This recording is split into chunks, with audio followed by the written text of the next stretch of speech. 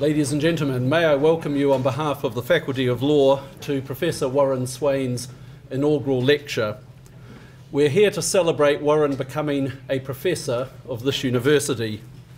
People from outside the academy and some of the students in the audience today might wonder about this title, professor. In popular fiction, professors often get depicted as crackpot inventors, such as Professor Potts in Chitty Chitty Bang Bang. They're portrayed as people who carry out worrisome social experiments, such as Professor Henry Higgins in My Fair Lady, as people who are shy and sometimes antisocial, as in the film The Absent Minded Professor. Sometimes professors even get portrayed as positively evil. Witness Professor Moriarty, the arch enemy of the equally learned Sherlock Holmes. Mysterious older men with magical powers but dubious academic standing sometimes get called professors. Witness Professor Marvel in The Wizard of Oz or Professor Drosselmeyer in The Nutcracker. These are, of course, exceptions. Those of us in the academy might prefer to identify with the muscular exploits of archaeology professor Indiana Jones or the quieter heroism of the various professors at Hogwarts School of Witchcraft and Wizardry. The reality is less prosaic, but no less exceptional. Professor is the highest rank a university can bestow. It's held by a small minority of staff who work at this university. When we award the title of professor, it's a sign that we consider that person to be a leading authority, a truly international scholar in his or her field. While this is not the first lecture Warren has given since becoming a professor of law here, this is the inaugural lecture in the sense it's the occasion we have to acknowledge and to recognise his standing as an academic leader, an authority in his field, a professor of law at this university. Professor Warren Swain joined the Auckland Law School in June last year. To get here, he had only to cross the Tasman from the University of Queensland. But Warren's journey, in fact, starts in Yorkshire, England, most specifically Harrogate. His warm northern accent, his dry sense of humour, his willingness to pitch in and contribute are perhaps typical of the sons and daughters of that county. His origins also explain why he's mad on cricket. His office, for any of you who have been there, is a veritable Aladdin's cave filled with William IV bookcases, leather sofas, law reports, and a comprehensive collection of Wisden's cricketers' almanacs. Even a bottle of wine, or two. Warren has worked in the Durham and Birmingham law schools, but it's unsurprising to know that his first academic position was at Hertford College, Oxford, where he also took his degrees. His doctorate was on aspects of the law of assumpsit, contract law, published to international critical acclaim as the law of contract from 1670 to 1870. Warren has made his name as a legal historian, but he also writes on contemporary private law and across jurisdictions. He's currently writing a book on the history of the law of contract in Australia and also a biography of the English judge Henry McCardie. He's recently co edited a book on the leading tort authority of Hedley Byrne. Dipping into his extensive list of publications, one sees articles on horse sales, usury, pawnbroking, and the development of medical liability. He is a man of broad and wide ranging interests. This is reflected in his teaching. He begins some of his lectures by discussing a renowned painting or reading a great poem. Sadly, I see we don't have an overhead with a great painting on it today, but I gather that we may hear from Oscar Wilde and from Aesop's fables. Warren produces scholarship of the calibre and of the quantity you would expect of a world class academic. He works extremely hard on his writing, for his teaching, and as an academic leader within the law faculty. Within a short time of joining us, he was appointed the Associate Dean Academic and Teaching and Learning, and I know from student leaders that he's respected for his ability to get things done, his willingness to listen to student concerns, and to sort out the teething problems that can arise from new initiatives. Warren's taken a lead on a whole range of new initiatives from more comprehensive and fairer assessment in all courses to grading policy and methods of teaching delivery. He is someone who cares very much about the student experience, about teaching and learning, and about the issues he writes and publishes on. He is, as such, eminently qualified to talk about the topic he's chosen for tonight the role of the law professor. Would you join me in welcoming Professor Warren Swain?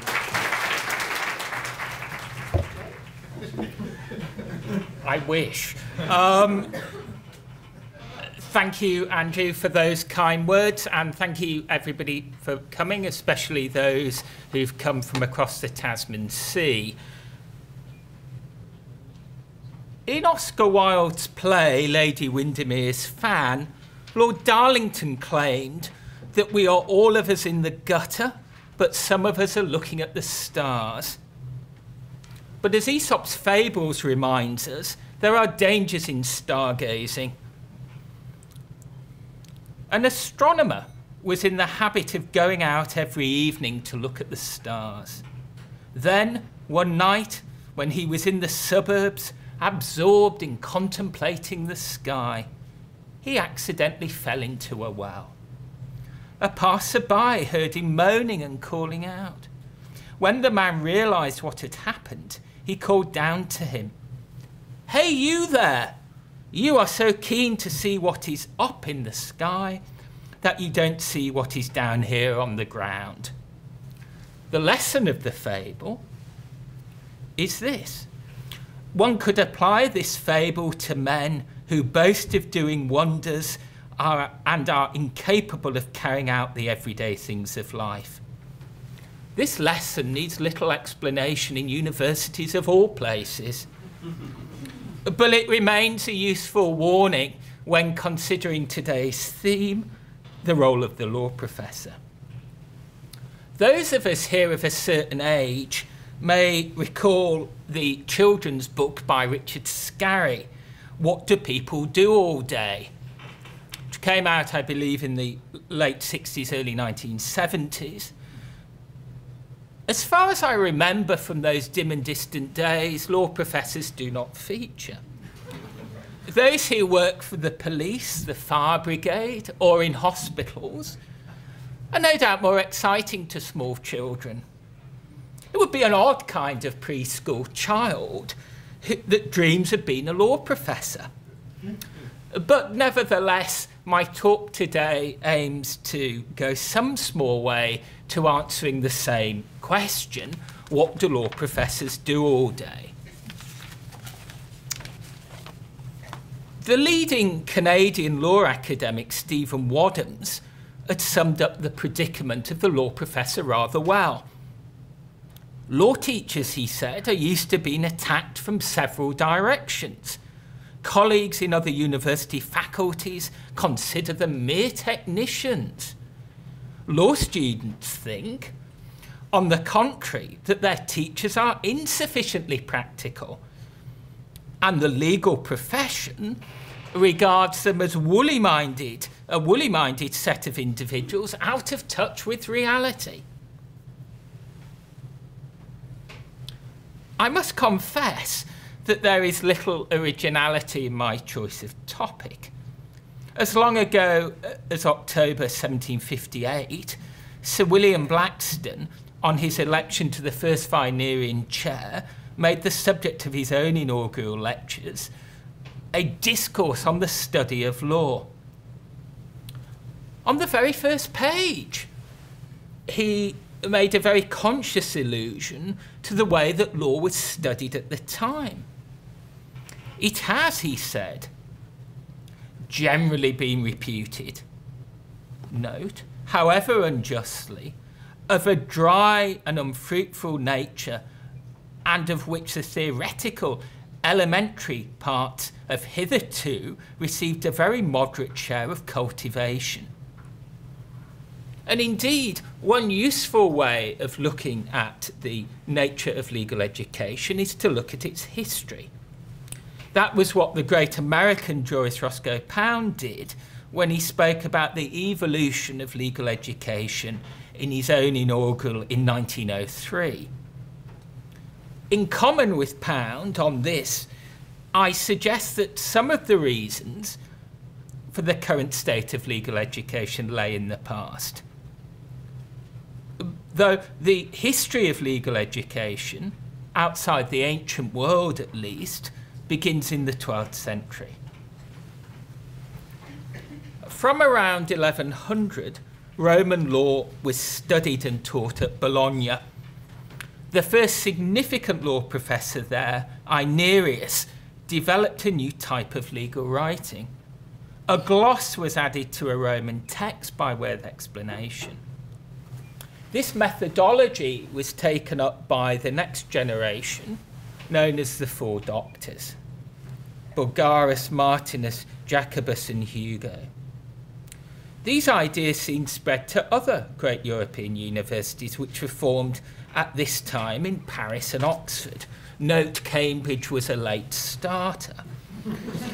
in England, the common law was already well established even though it was neither taught initially in Oxford or in Cambridge, rather students were instructed in canon law and civil law.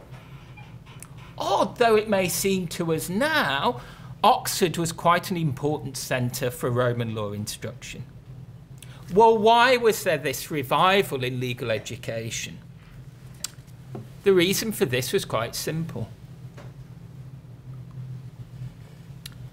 A complete version of the important Roman text, Justinian's Digest, was rediscovered, a complete version, at the end of the 11th century. And this sparked this revival in legal education. Well, what did the early law professors do? Well, they did a bit of legal writing and they delivered lectures and oversaw disputations which were formal debates in which students were required to participate. Those of us, or those of uh, you and perhaps all of us at one time or another, complain of managerialism within universities will be interested to know that in 1250, lecturers were forced to adopt a standard format for their lectures. This went down terribly badly.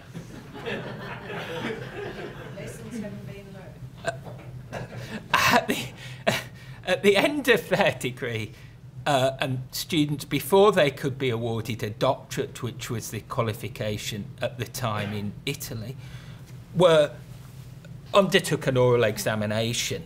And again, this is still with us. The process though, was described in a Bologna University statute of 1432 as a demanding and frightening test. It has to be said that then as now the law professors were rather a mixed bunch. In Renaissance Italy, law professors enjoyed high status and great financial rewards. Many served in public capacities.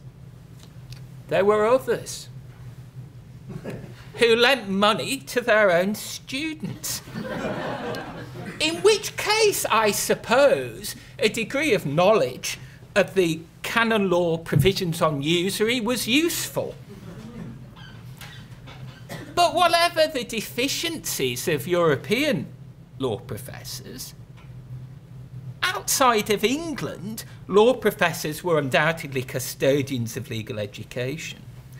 To take one example, the contrast between the lively debate in Germany in the mid 17th century on legal education with what was going on in England at the time could hardly be greater.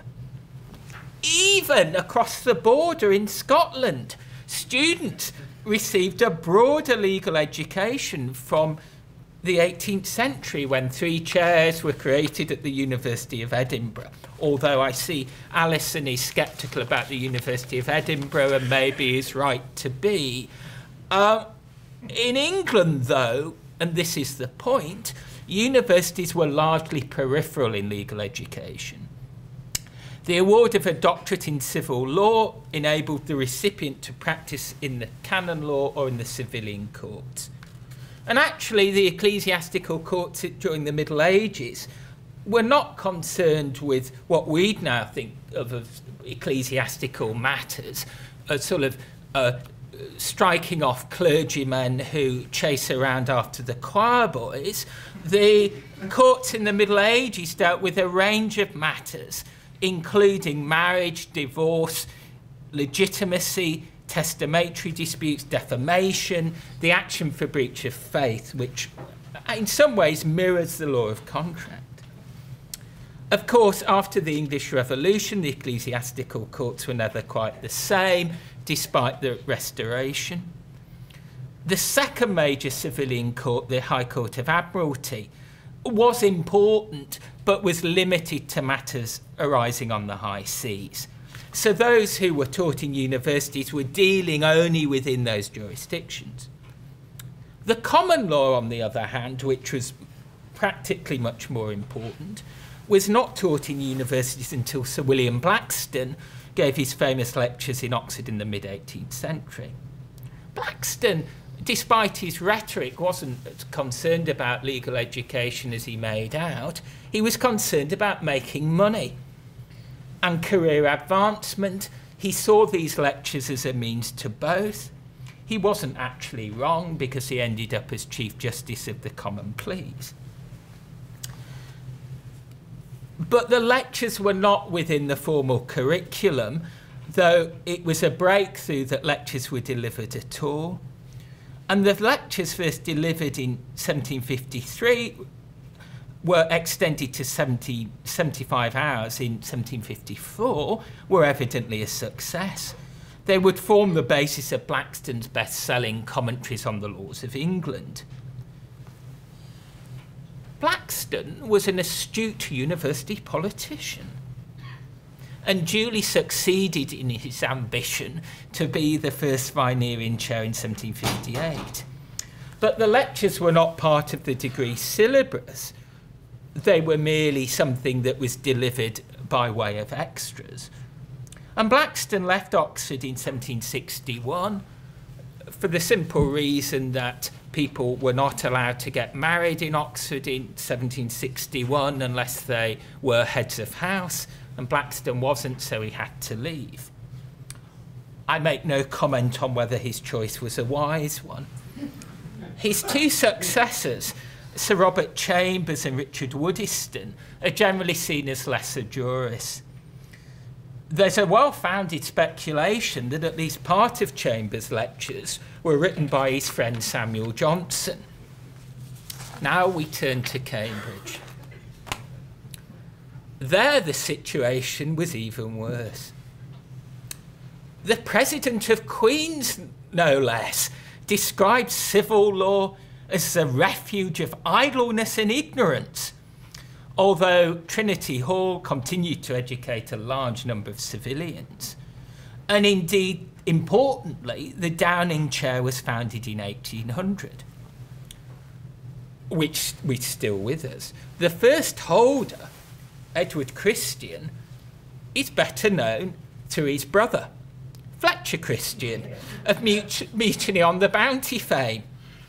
He also edited Blackstone's commentaries and managed in between idleness and ignorance to write a few books on legal practice and sat as Chief Justice of Ely. But sadly, he was not really the kind of dynamic individual who was going to establish legal education, and indeed common law legal education in Cambridge. For the most part, legal education remained exclusively in the hands of the legal profession. The earliest law students, known as apprentices, learnt the law by sitting in the court in a designated area known as the crib. There were also some more formal methods of instruction. And during the 14th century, the Inns of Courts emerged out of a group of boarding houses. Many were short lived, but Inner Temple, Middle Temple, Gray's Inn, and Lincoln's Inn are still with us. A group of inns of lower status, the Inns of Chancery provided education to attorneys and clerks. After initial training, those seeking admission to the bar would attend the Inns of Court. The process note took seven years during which students took part in moots, attended lectures known as readings, and as today, ate very bad food in the dinners. Uh, the readings, though, were an important, which were what we'd call lectures, I suppose, were an important as a means of passing on the collective wisdom of the profession. But in the 16th and 17th century, readings declined. Then they were abandoned altogether.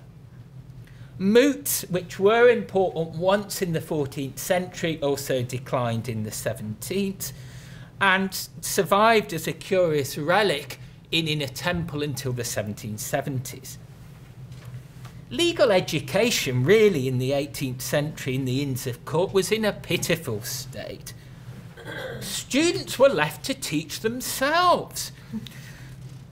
And one writer of the period, Richard Campbell, advised them a few well chosen authors will suffice and give the student a clearer idea of this too much perplexed study than if he was to read the whole heap of rubbish that has been writ upon the subject. It's perhaps unfair to castigate the inns when matters were no better in universities Many of you will be familiar with Edward Gibbon's book, Mem Memoirs of My Life, which described how the fellows in Oxford had given up the pretence of teaching. Of his own tutor, a Dr. Winchester, he wrote that he well remembered that he had a salary to receive and only forgot he had a duty to perform.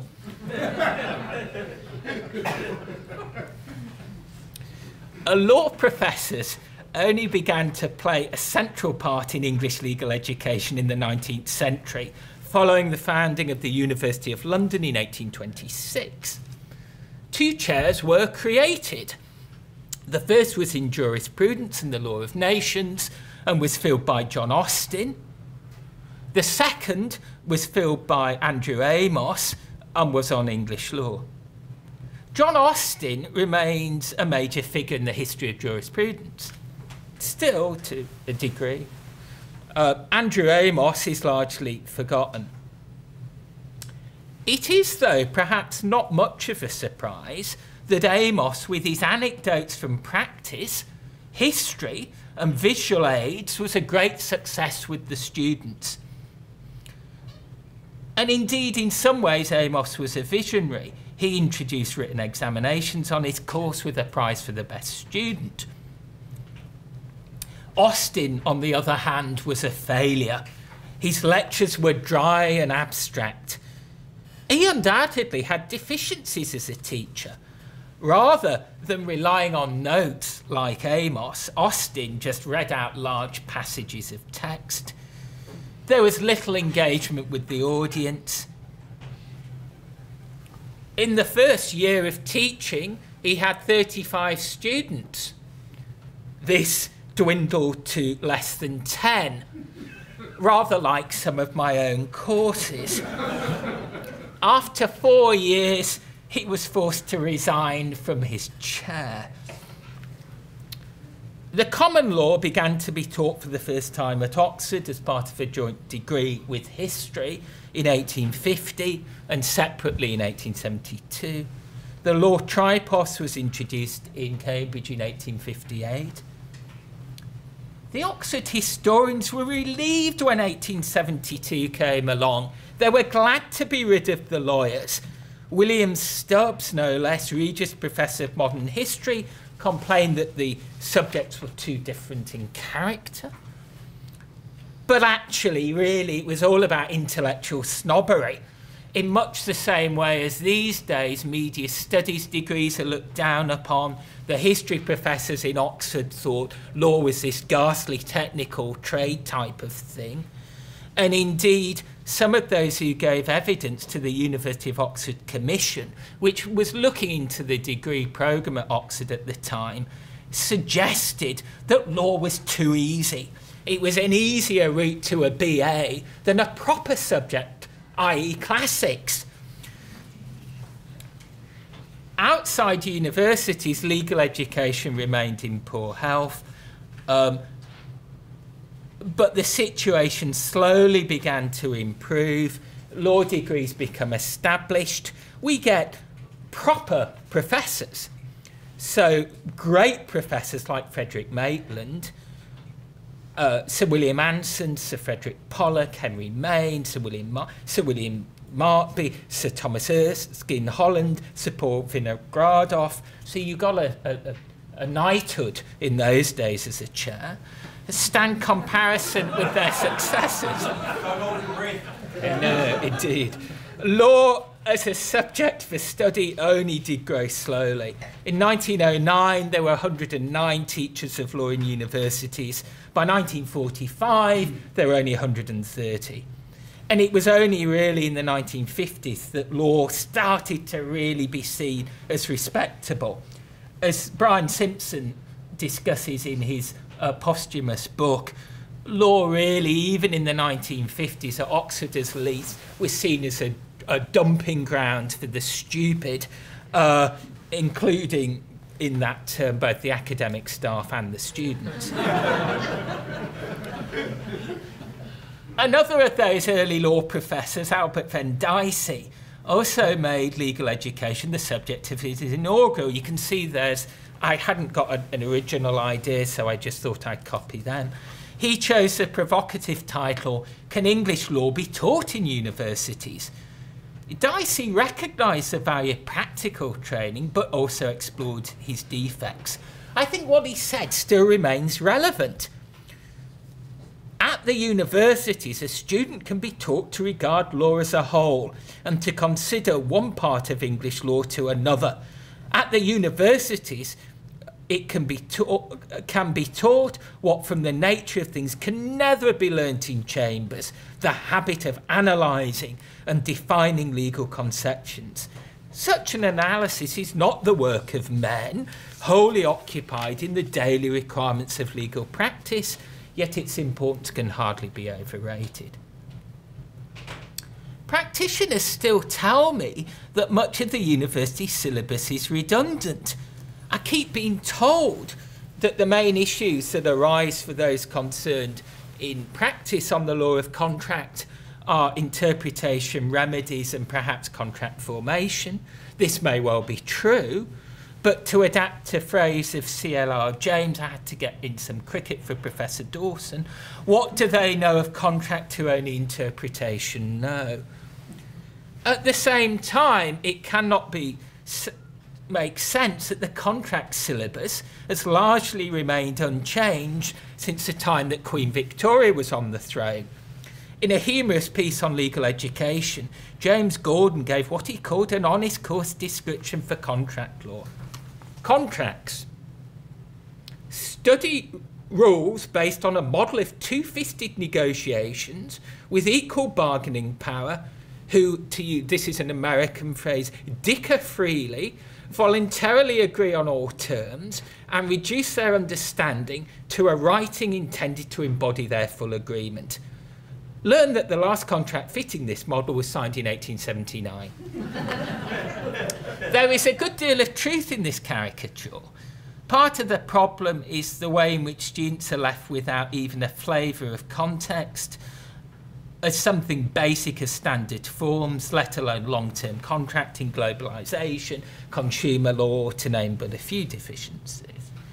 Despite a vast and sophisticated body of theoretical literature, insights from such literature forms almost no part of any contract course that I'm aware of. But this tension between legal practice and universities is an old one, as long as both exist, it won't be eradicated. It's the same issue in has been that faced early academic lawyers in New Zealand. Law professors, in fact, are obviously often poor advocates for their discipline, although it has to be said that both sides of the argument are not always shy about displays of arrogance. The same fiction Earth's friction, albeit in a different form, is found when it comes to the second aspect of the work of a law professor, writing and thinking about the law. The title of this section, Legal Research Hardly Like Finding a Cure for Fatal Disease, comes from a remark of a former colleague, the University of Birmingham, at his retirement party. In a way, of course, he was right, but it does not follow, as he implied, that legal research is unimportant or has little value. Yet, once again, an examination of the history of legal writing shows that it comes out distinctly second best, at least in the common law when set against the civilian writers. But let's start with legal writers who mattered and the Roman jurists. The jurists were a distinctly Roman invention.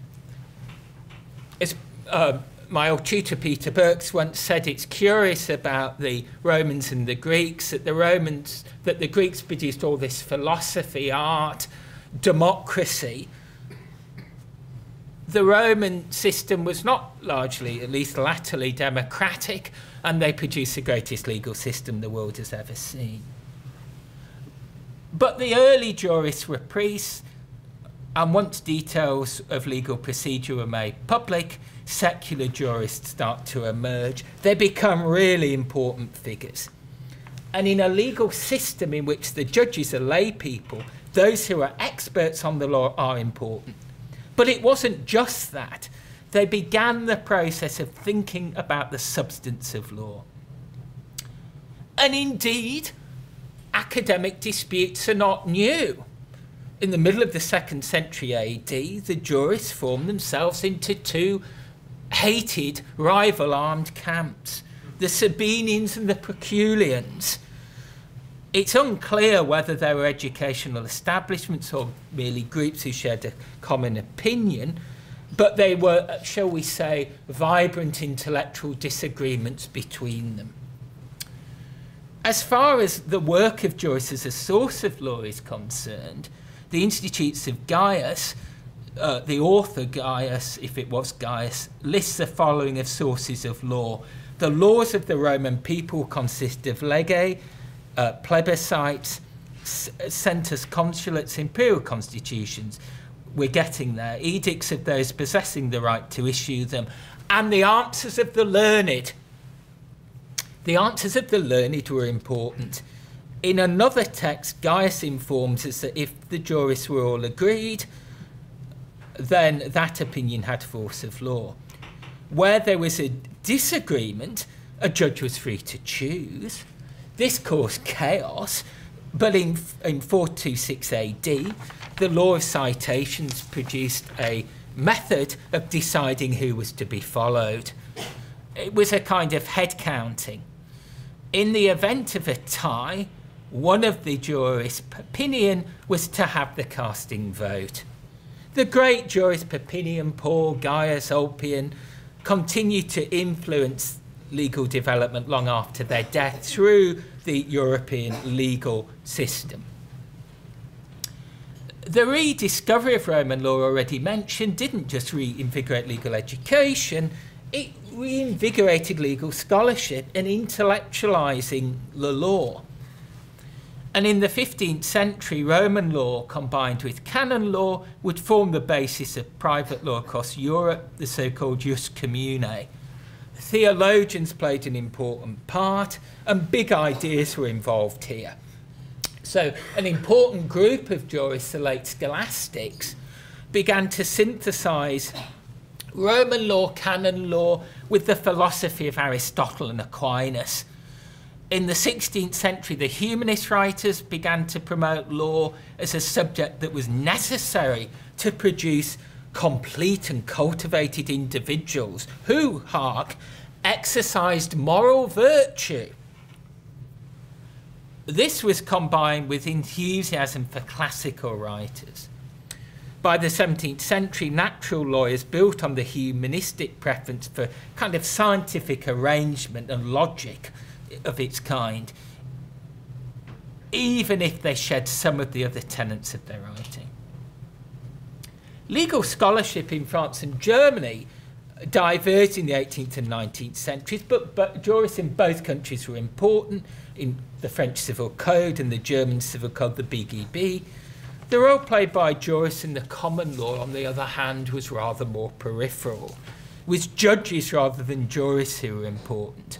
Of course, some, some were both. Blackstone, already mentioned, was a rather second rate Chief Justice of the Common Pleas.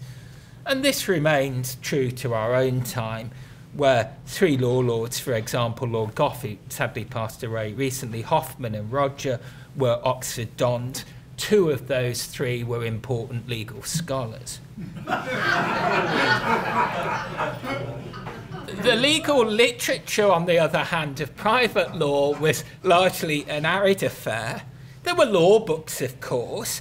Most of these were concerned with legal procedure, but between Bracton's Law and Customs of England in 1260 and Blackstone's commentaries, there isn't much written on private law unless you look at things like Thomas Littleton's tenures on property law.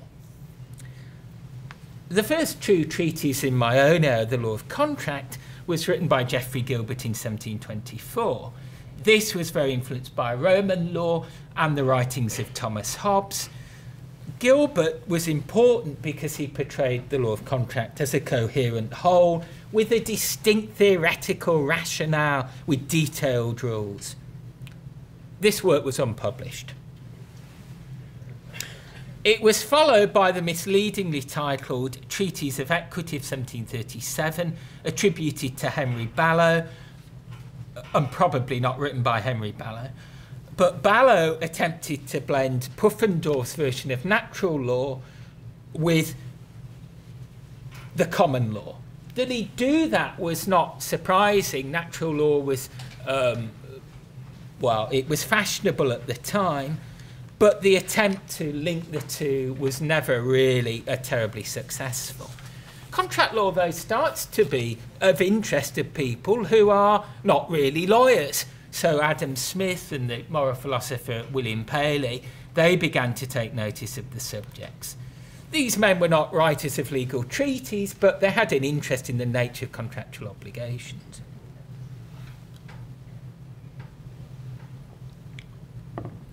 In this respect, these men were closer to the mainstream European writers they were thinkers, they were scholars, they were like European jurists. Most of the writers on the law of contract were very different types of individuals. They were not law professors, jurists, or even intellectuals of any kind. They were, in effect, hack practitioners who thought to make their name by writing on the subject and selling books some of them did a fairly good job. Indeed, Joseph Chitty, his practical treatise on the law of contracts, was first published in 1826. A 31st edition still remains in print. No perhaps irony that the most influential jurist on private law in England before the 1870s was not English. He was a Frenchman, Robert Joseph Pothier, who'd been translated into English by Sir William Evans in 1806. Pothier's basic premise was that contracts were formed by meetings of wills, meeting of minds, and from this he constructed a whole theory and rationale. It's not surprising that he appealed to more English writers of a more theoretical bent like Sir Henry Colebrooke, but he also appealed to judges. The reason I think for this, which is discussed in my last book at great length, still available in remainder shops, uh, is that actually he came at the right time in that English law at the time was trying to construct a new model of contract, and judges and lawyers, it was easy just to pull a book down from the shelf. In time, this theory was blended with English law, and that created a tension. Writing in the 1880s, the jurist Dicey again said of this earlier generation of legal writers, though perhaps not Pothier, that they had learnt law without mastering its principles. The Oxford contemporary Sir William Anson explained in the preface to his Principles of Contract Law the main object with which I have set out has been to delineate the general principles which govern contractual relations from beginning to end. the idea that contract law could be reduced to principles had earlier echoes, certainly, but had a new level of sophistication in the works of Anson and Sir Frederick Pollock. Anson also became quite rich in that his treatise sold in large numbers and was influential on generations of law students. But largely, still the impetus for most legal writing came from the legal profession rather than universities. It was a way that a young barrister could make a career.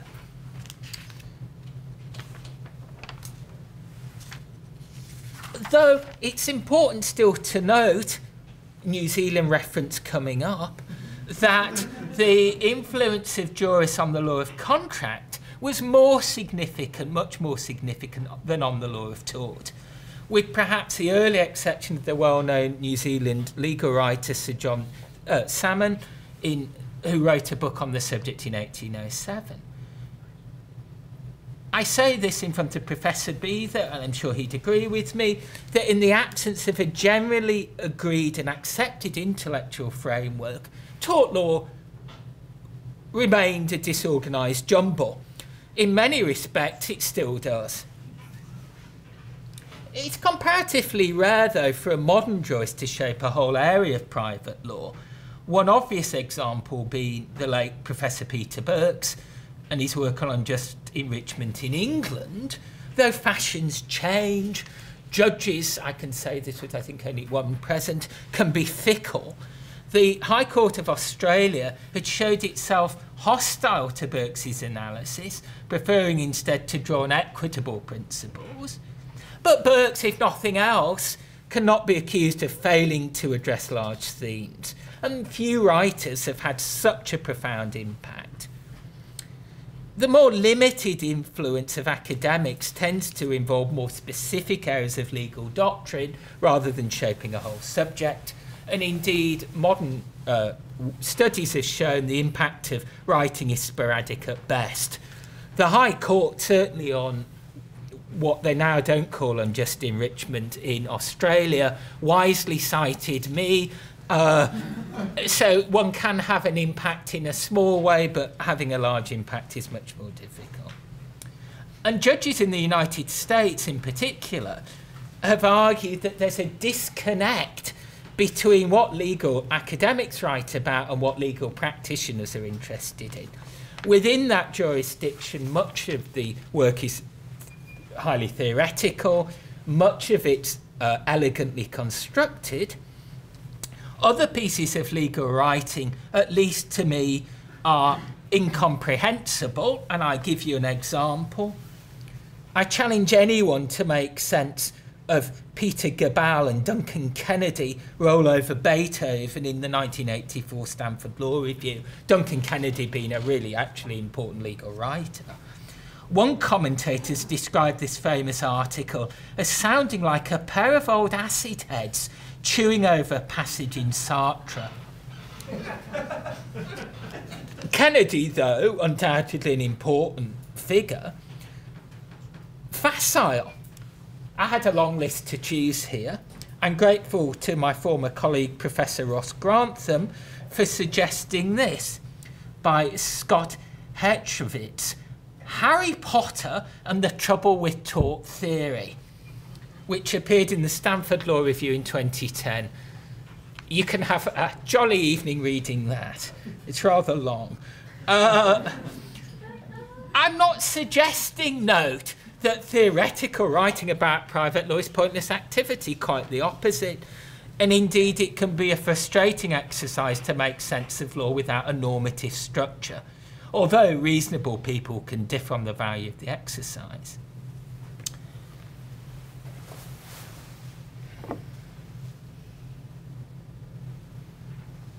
A great deal of modern academic writing, it has to be said, is very bad indeed. I can only plead mea culpa. It's not entirely the fault of academics, even. The, in New Zealand, as elsewhere, the pressure to publish without having much to say simply reflects the requirements of the PBRF. But all the same, these pessimistic thoughts should not entirely obscure the contribution that legal writers have made and may continue to make. My point rather is uh, the one that a limited the limited influence of common law writers is, is important but has been somewhat piecemeal. And indeed, until recently, law professors within the common law have been marginal, really, figures. There is good legal writing. It can be fueled and perhaps should be fueled by anger, or at least a belief that the law as it stands is not quite right. Writing of this sort is an important safety valve. Sometimes it can even influence the direction of private law. The remaining 20%, which I'm going to say something briefly about, is the topic that will interest many of us, and that's administration. As many of you know, I sit on many university committees, including uh, several with the Deputy Vice Chancellors in the front row. And the contracts of employment of professors typically require that 20% of time is spent on service. What this means actually something of a mystery. Certainly, law professors can provide important public service. Uh, some act as public intellectuals, as Professor Kelsey in the second row is an excellent example. Others are involved in law reform. One of my predecessors in this law faculty made a significant contribution, which should really be noted, to drafting the New Zealand contract Statute.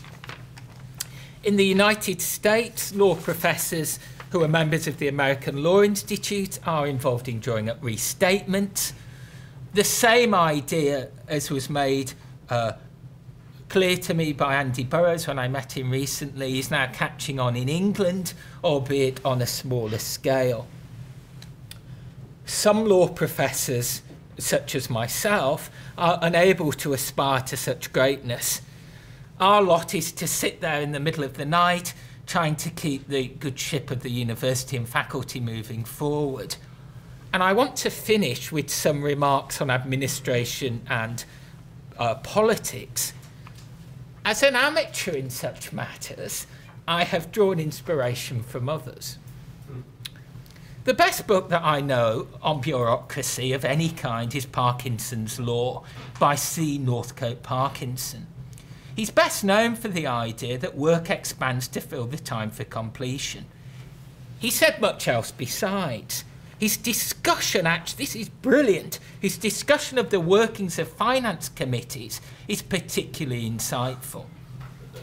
His later work, and the discussion I can summarise is that uh, it's a firm they're talking about. What do we spend money on?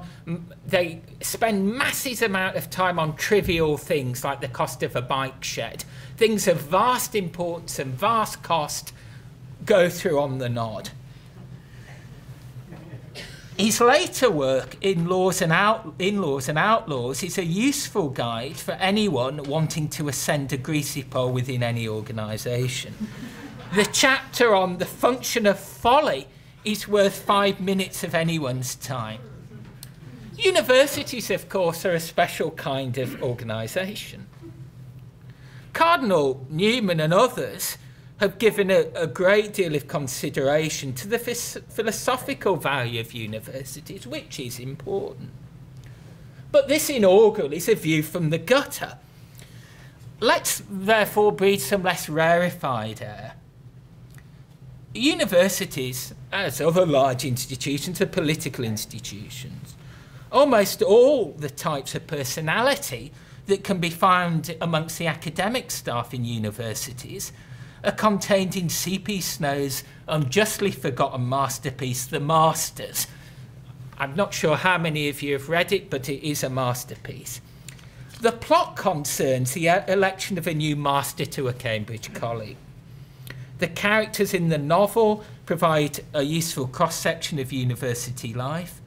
The devious, the naive, the openly ambitious, the quietly ambitious, the disengaged, the venal, the insecure, and the muddle headed.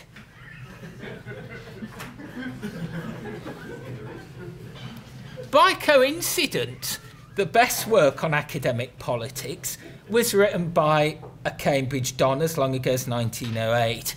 His name was F.M. Cornford. Cornford is particularly good on arguments that were used in Cambridge at the time and no doubt still against any form of change. There are a number. Time only permits me for two personal favourites. The first, the principle of the wedge, states that you should not act justly now for fear of raising expectations, which you are afraid that you will not have the courage to satisfy. the wedge argument implies the admission that the person who uses it cannot prove that the action is not just. On the other hand, the principle of unripe time. The principle of unripe time is that people should not do at the present moment what they think is right at that moment because the moment at which they think it ripe has not yet arrived. Time has a trick of going rotten before it is ripe.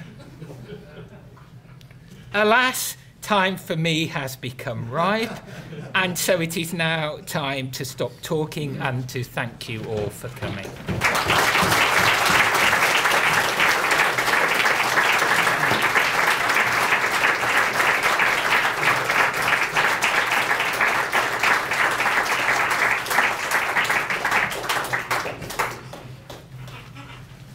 Well, thanks, um, thanks very much, Warren. Um, we all we all greatly enjoyed enjoyed that.